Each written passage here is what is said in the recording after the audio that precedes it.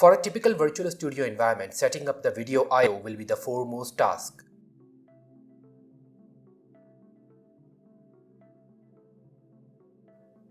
In our node-based compositor, you must connect your AJA card to AJA in and out nodes to get the real-time video feed from your studio.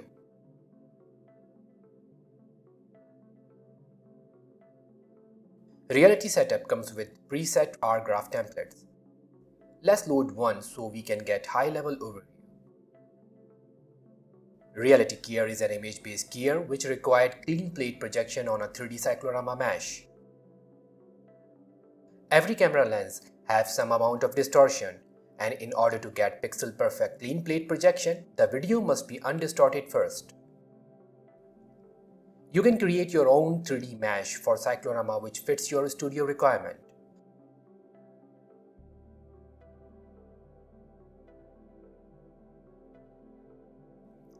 Reality Cyclorama node comes with a built-in function which helps you to take high resolution screen grab of your green studio and project it to the 3D cyclorama.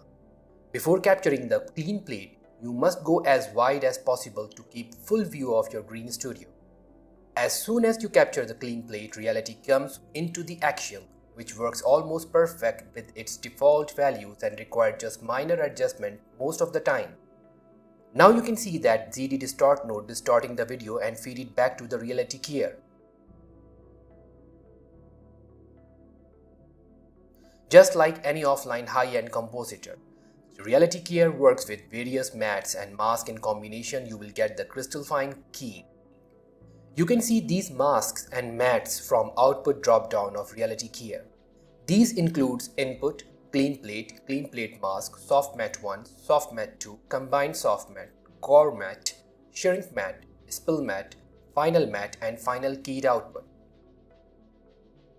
After we get the final keyed results, you may have an optional ZD color corrector node that helps you to precisely match your talent with the virtual environment.